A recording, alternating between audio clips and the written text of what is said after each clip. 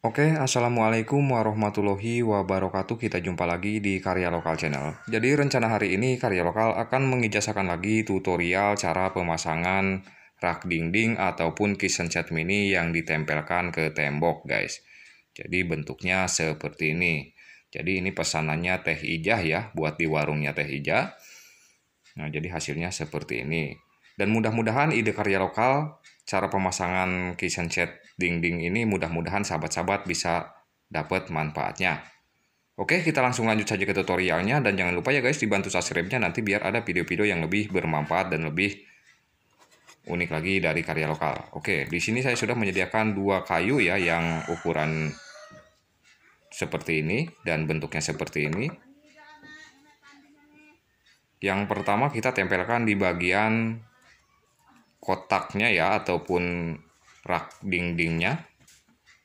Lalu kita lem dengan menggunakan lem haiki.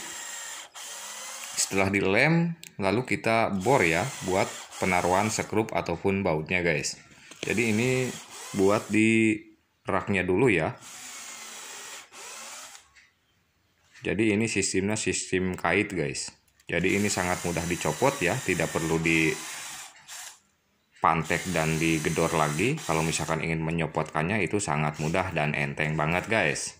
Oke setelah dibor lalu kita pasang sekrup ya yang ukuran 5 cm jadi sekrupnya itu harus secukupnya saja guys. Jangan terlalu kepanjangan dan jangan terlalu kependekan.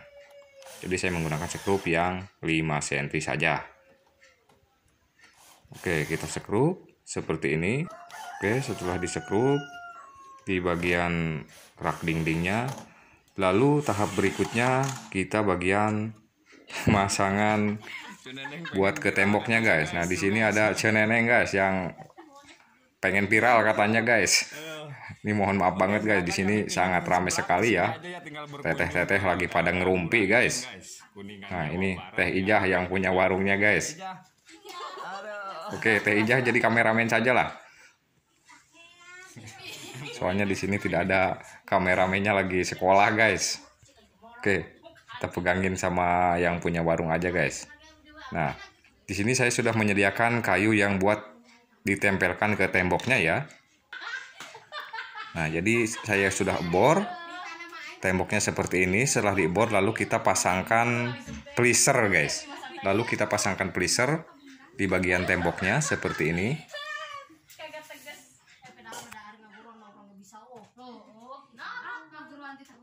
Nah jadi setelah dibor tempelkan pleaser ya. Setelah ditempelkan lalu kita ketok masukkan ke tembok. Setelah dimasukkan lalu tahap berikutnya kita tempelkan kayu yang bagian ditempelkan ke temboknya guys. Nah dengan bentuknya seperti ini. Oke kita tempelkan kayunya.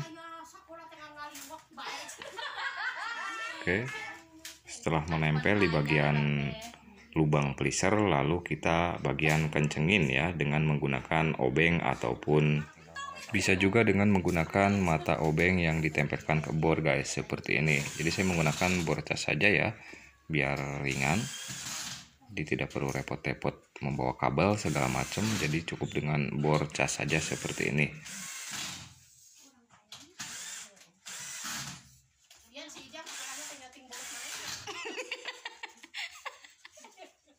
Gandeng itu dah. Kameramen.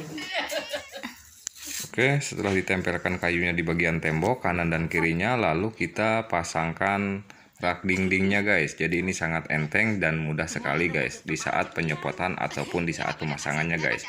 Jadi tinggal langsung ke atasin lalu kita tarik sedikit ke bawah. Kalau sudah ngepas hasilnya seperti ini guys.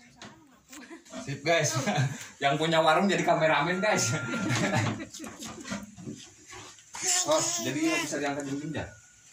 Oh, Nek di era ketika di dinding saya. Ya. Ah, bisa tunggung sih ja Angkat ya. Nah guys, jadi cara pemasangannya seperti itu ya. Jadi sangat simpel dan mudah-mudahan ide karya lokal ini bisa bermanfaat untuk para tukang pemula ataupun yang lainnya. Oke, mungkin sekian dulu karya lokal. Bila hitopi hidayah. Wassalamualaikum warahmatullahi wabarakatuh.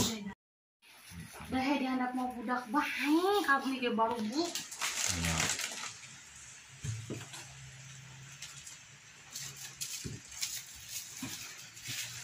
boleh tak boleh sok